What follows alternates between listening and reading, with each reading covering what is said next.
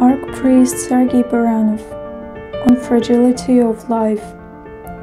A sermon after Panikhida, the 25th of December 2021.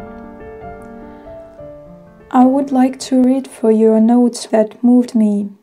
Panikhida for the repose of the deceased servants of God Stepan, Matrona, Pavel, Foma, Parfyon, Vindey, Irina, Filka, Lyuba, Kuzma, Anna. I remember it so well. When I was a very young man, I caught a time when these names of people born before the revolution were on everyone's lips. I was a boy, but I remember at my granny's village there was a grandpa Filka, both Vindey and Parfyon were there too. Yes, we are the witnesses of the time when those people lived. Just look, some people still use this specific transcription of the names. Grandpa Filka and Parfyon are still present in somebody's life.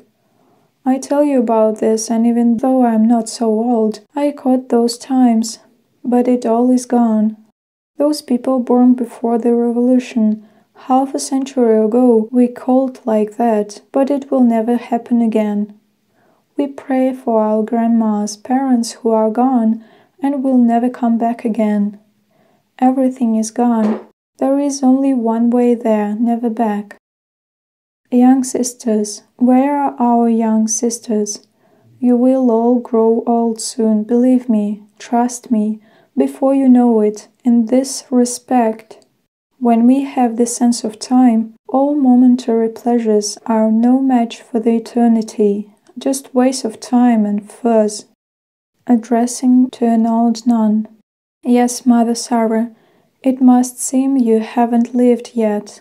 Only yesterday you walked holding on to your mother's hand, and now you are old, very, very old.